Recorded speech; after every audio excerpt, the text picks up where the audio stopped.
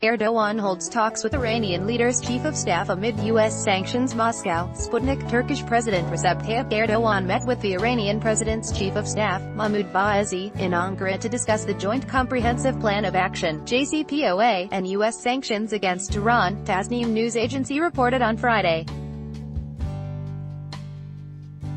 According to the Tasnim news agency, the meeting took place late on Thursday as part of Vaezi's one-day visit.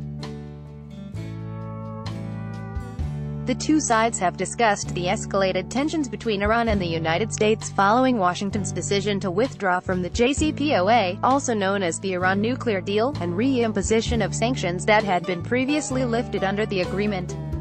Vaezi told the Turkish leader that Tehran was determined to resist Washington's pressure until the United States regrets its decision. He also handed over a written message from the Iranian president to Erdogan.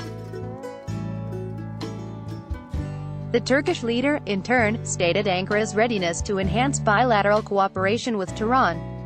The outlet added that during his stay, the chief of staff also had meetings with Turkish Foreign Minister Mevlut Cavusoglu and a number of other senior officials.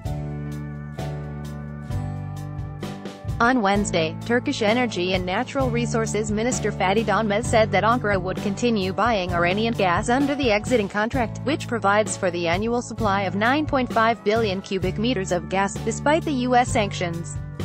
On Tuesday, the first package of U.S. sanctions against Iran was reinstated. The sanctions target Iran's acquisition of dollar bank notes, trade in gold and other metals, transactions related to the Iranian rial, as well as the other countries' transactions and trade activities with Iran.